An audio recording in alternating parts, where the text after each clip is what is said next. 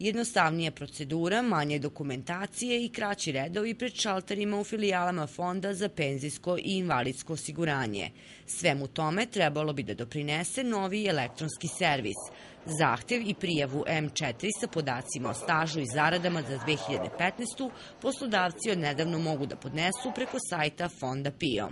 To konkretno znači da očekujemo smanjenje gužve na šalterima, uštedu u vremenu i novcu poslodavaca i njihovih zakonskih zastupnika, te u svakom slučaju očekujemo da će sve to zajedno činiti jedan, e, da kažemo, značajan pomak u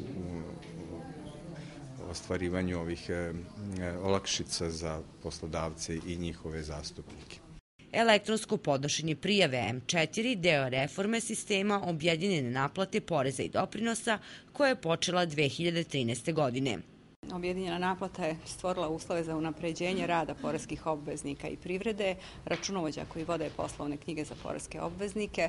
Ona je, kao što znate, pomerila Srbiju na Doing Business listi na 59. mesto dovela je do uspostavljanja kontrole kod isplate oporezivih prihoda, dakle da nema više isplate neto prihoda, da se pritom ne dostavi pojedinačna porezka prijava porezkoj upravi, dobije BOP i pre toga plati doprinos, pa PIO, odnosno pa porez na, na prihode, pa tek onda neto prihod. Zbog toga je ogromno povećanje po osnovu poreza i doprinosa u budžet Srbije, smanjeni troškovi administriranja kod porezkih obveznika, dakle i sve međunarodne institucije su ocenile da je objedinjena naplata odličan reformski projekat.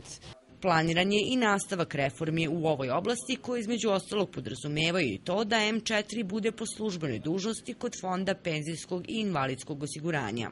Još ne postoje svi preduslovi za to, znači tu je potrebno da postoje sve institucije povezane od Poreske uprave, Centralnog registra za obavezno socijalno osiguranje i Republičkog fonda PIO.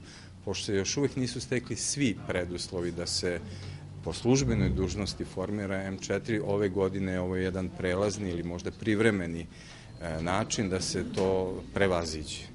Savetovanje u Kragujevcu organizovali su Savez računovođa i revizora Srbije, Republički fond za penzijsko i invalidsko osiguranje i Privredna komora, a domaćin je bila Regionalna privredna komora Kragujevac.